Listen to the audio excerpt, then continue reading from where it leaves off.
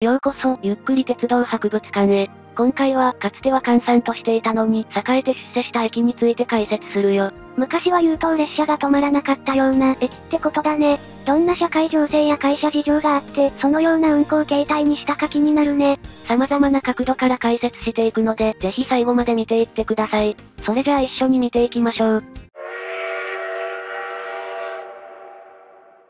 最初に紹介する駅は、相模鉄道の西谷駅だよ。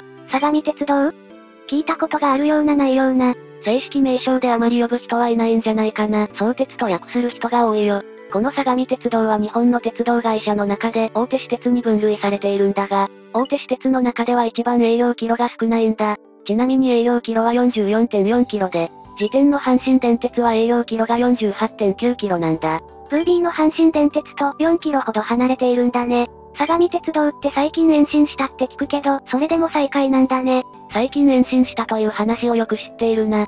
今回紹介する西谷駅が栄えたのは延伸が鍵になっているんだ。相模鉄道は2019年11月まで、関東圏の大手私鉄では唯一他社路線と旅客列車の直通運転をしていなかったんだ。東京メトロとか東急電鉄とかは他の鉄道会社との相互直通運転があるもんね。他社路線での遅延や事故の影響を受けないという直通しないことのメリットはあるんだが、利用する人からすれば乗り換えしなくても目的地につける便利さはあるんだよな。確かに自社路線は遅延していないのに乗り入れ先の路線が遅延していたら、巻き込まれるのはよくある話だよね。だけどそれでも他車線と繋がることで西谷駅は出世したってことかな？そういうことなんだよ。西谷駅は2019年まで各駅停車しか停車しない駅で、2面4線、ホームが2本で線路が4本のこじんまりとした駅だったんだ。駅周辺に目立った商業施設もなかった。だけど2010年3月に相鉄 JR 直通線として新線を建設する都市計画が発表されたんだ。これはびっくりしただろうね。地元住民も利便性が上がるから嬉しかったんじゃないかなそうだったと思うぜ。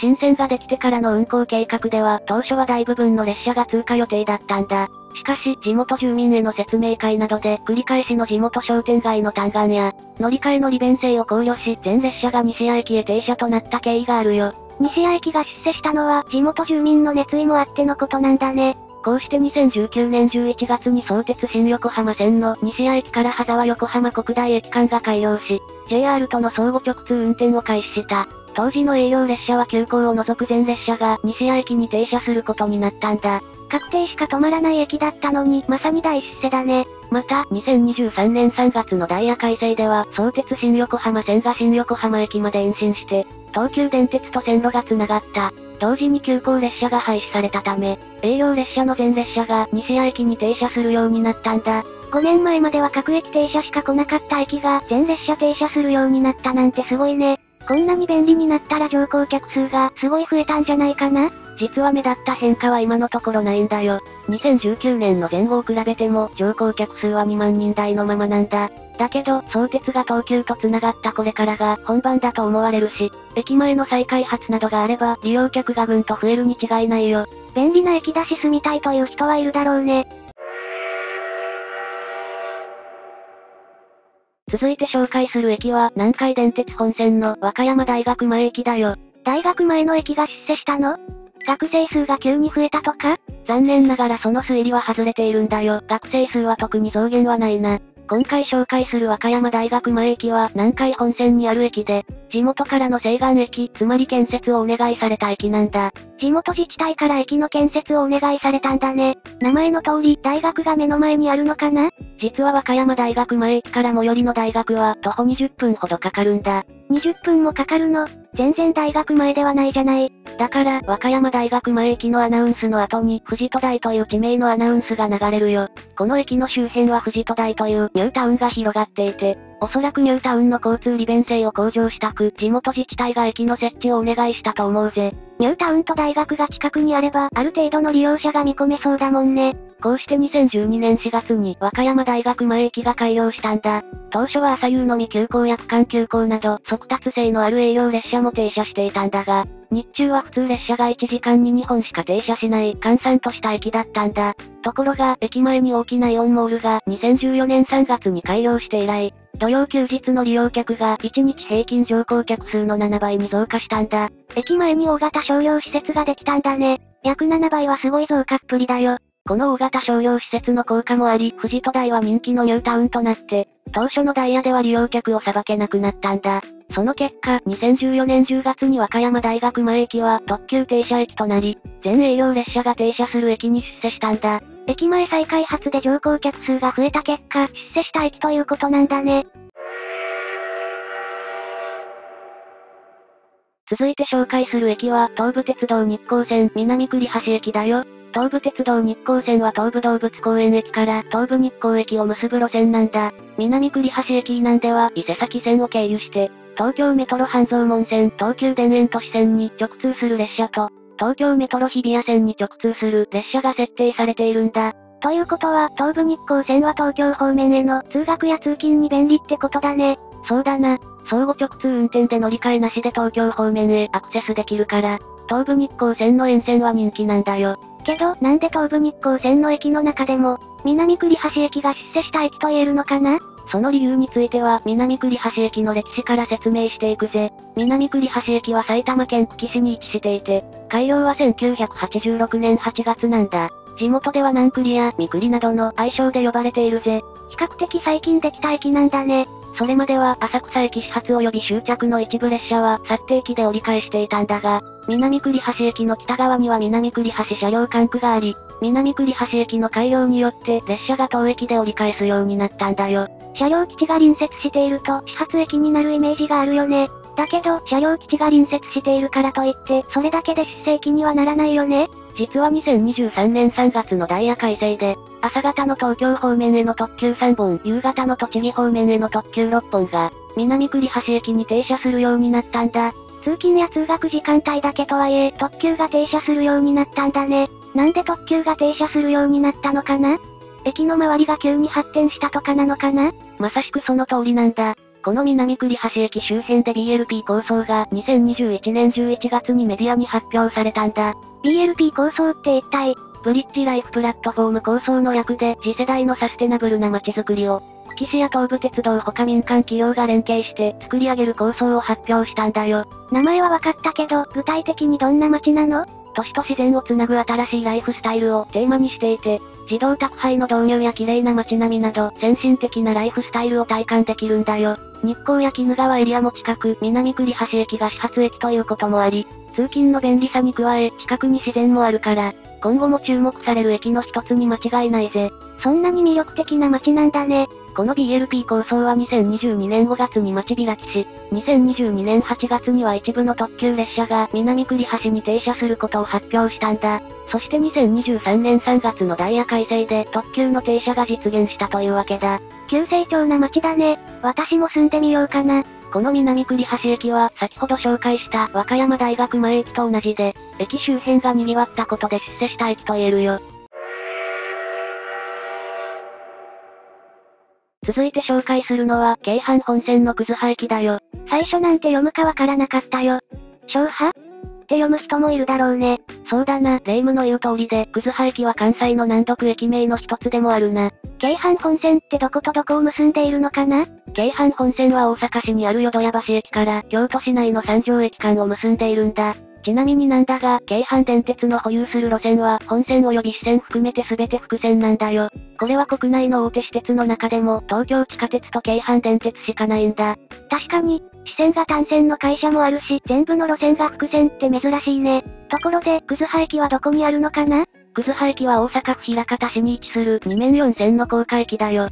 枚方市の中でも大阪府と京都府の境付近に位置しているんだ。1960年代までは駅周辺は工業としていて、京阪本線で利用客数が最下位だったんだ。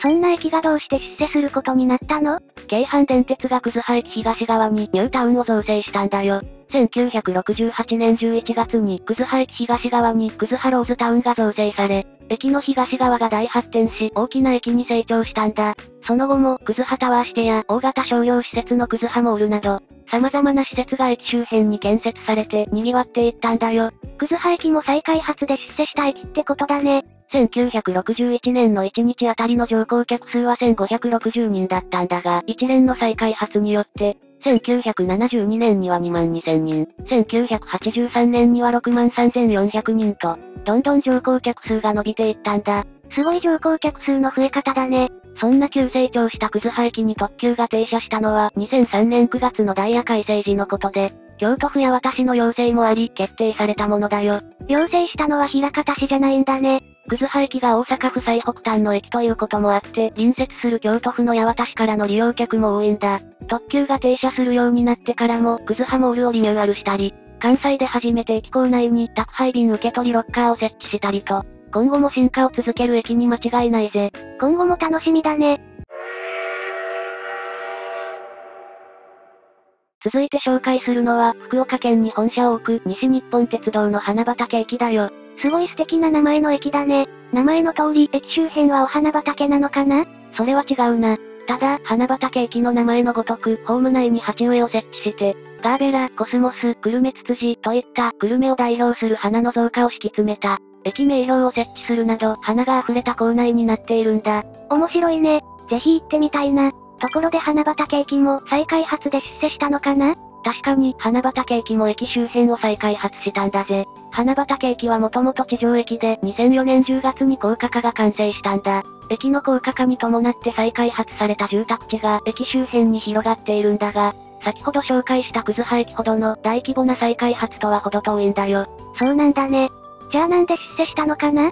その理由が結構曖昧なんだよ。ここから話す理由は推測も交えるためご了承願うよ。花畑駅が高架化するまでは一部の急行がここを終着駅として折り返していたんだけど、2004年の高架化とともに、西日本鉄道の全営業列車が花畑駅に停車するようになったんだ。高架化したし、再開発もするし、多くの乗降客数を見込んだからじゃないの？ところが、決して乗降客数は多いわけじゃないんだ。花畑駅の2022年7月の1日あたりの乗降客数は6282人で、西日本鉄道天神大牟田線の乗降客数ランキングでは、17位と特急停車駅としては上位ではないよ。確かに、乗降客数が突出しているわけではないんだね。なんで花畑駅に特急が停車するようになったか余計に気になってくるよ。西日本鉄道の特急電車は花畑駅の隣の駅である西鉄久留米駅にも停車するんだ。この西鉄久留米駅は久留米市の中心街に位置していて、JR の久留米駅よりも乗降客数は多く、1日あたり24,321人なんだ。西鉄久留米駅は花畑駅の約4倍の乗降客数を誇るんだね。もちろん、西鉄久留米駅にも特急電車が停車するんだが、西鉄久留米駅と花畑駅との距離は約900メートルほどしか離れていないんだ。900メートルしか離れていなかったら、西鉄久留米駅か花畑駅どちらかに、特急を停車するのでよかったんじゃないかな？西日本鉄道は花畑駅を特急停車駅に加えた理由として、西鉄久留米駅への一極集中を緩和するために周辺の土地区画整理事業に合わせて、停車駅に加えたと述べているよ。確かにわからなくもないけど、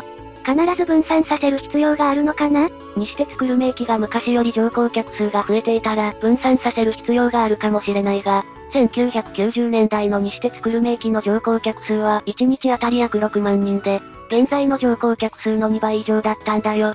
1990年代は花畑駅に特急が停車していなかったから、西鉄久留米駅だけでも特急の乗降客をさばけていたことはわかるし、今になって花畑駅に特急を停車させる必要は必ずしもなかったことが伺えるよ。確かにその通りだね。ますます花畑駅に特急を停車させるようにした。真の理由がわからなくなってきたよ。花畑駅を高架化するにあたって、久留米市は事業費を確保したから、高架化した花畑駅に特急を停車するように西日本鉄道にお願いしたと考えるのが、筋が通るんじゃないかな。高架化するための工事費用を久留米市が負担したってことだよね？そうだな。この高架化工事は踏切除去を目的として行われたもので、工事事業費を国と市が負担してくれるんだ。久留米市側も工事事業費を負担するだけでなく、工事区間の区画整理や住民たちの木など、いろいろな負担を強いるわけで、この見返りとして、花畑駅に特急を停車させるよう、西日本鉄道にお願いしたんじゃないかな。工事事業費は鉄道会社で負担するわけじゃなく、国や地元自治体も負担するんだね。久留米市も協力したから、お願いしたくなる気持ちもわかるね。理由はどうあれ、こうして高架化された花畑駅に特急が停車するようになったんだ。今度花畑駅に行った時は、ホームの鉢植えを見ようっと。続いて紹介する駅は、京王電鉄から京王線笹塚駅だよ。笹塚駅は東京都渋谷区に位置していて、渋谷区に所在する駅では最西端に位置しているんだ。新宿駅から笹塚駅までは、複々線化されているよねよく知っているな。笹塚駅の1、4番乗り場は新宿駅で、2、3番乗り場は都営新宿線に直通する京王新線なんだよ。乗り場で行き先が分かれているんだね。よく知らずに乗ったら、都営新宿線に直通しちゃうのは困るね。そんな笹塚駅なんだが、京王ライナーを除く全営業列車が停車するようになったのは、2022年3月のダイヤ改正時のことなんだ。このダイヤ改正で同じく特急停車駅に千歳烏山駅も選ばれたんだ。2022年3月に全営業列車が停車するようになったんだね。どういった理由で停車するようになったのかな京王線にはもともと準特急が運転していたんだ。準特急準急なら他の鉄道会社でもたまに見ることがあるけど、準特急という列車種別は全国の鉄道会社を見ても珍しい種別で、初見殺しの準特急と言われていたんだぜ。初見殺し、一体どういうことかな？京王線に準特急という列車種別が登場したのは2001年3月のことで、明大前駅から調布駅までノンストップで運行していたんだ。霊夢も先ほど言っていたが、京王線にあまり詳しくない人が、準特急と聞くと、準急を連想してあまり速くないだろうと乗車すると、どんどん駅を通過する姿に戸惑った乗客が多くいたそうなんだよ。確かに、準がつくとつかないじゃ、印象が全然違うもんね。準特急という列車種別は、京王でしか使用していなかったんだよ。希少性が高いと聞くとちょっと素敵に思えるね。2015年9月のダイヤ改正で準特急は、笹塚駅と千歳烏山駅にも停車するようになり、明大前駅から調布駅までノンストップ運行じゃなくなってしまったんだ。このダイヤ改正で今回紹介する笹塚駅に停車するようになったんだね。珍しい列車種別で愛された準特急だが、2022年3月のダイヤ改正で消滅したんだ。代わりに特急が笹塚駅と千歳烏山駅の各駅に停車するようになり、さらに高尾線内の各駅にも特急を停車させて準特急を受け継ぐ形になったよ。この準特急の廃止は SNS 上でも話題となり、惜しむ人々のツイートが絶えなかったそうだ。京王ならではの列車種別だったもんね。最後にまとめると、今回紹介した笹塚駅は、再開発などの外的な要因ではなく、運行ダイヤの見直しで廃止した準特急の停車駅を、特急が引き継ぐという形で出世した駅なんだよ。また独創性のある列車種別が現れてほしいな。いかがだったかな？今回はかつては閑散としていたのに、栄えて出世した駅について解説したよ。新線建設によって、相互直通運転のための分岐点になった駅や、沿線自治体にお願いされて特急を止めるようになった駅など様々だったね。南栗橋駅の BLP 構想はスケールの大きさにびっくりしたよな。視聴者の皆様も閑散としていたのに出世した駅についてのエピソードがあれば、ぜひ教えてほしいな。皆さんは何か印象に残っている話題とかあったかな？あったらコメント欄で教えてくれると嬉しいよ。このようにこのチャンネルでは鉄道に関する話題を解説形式でわかりやすくまとめていきます。皆さんのチャンネル登録高評価が励みになります。それじゃあ、ご視聴ありがとうございました。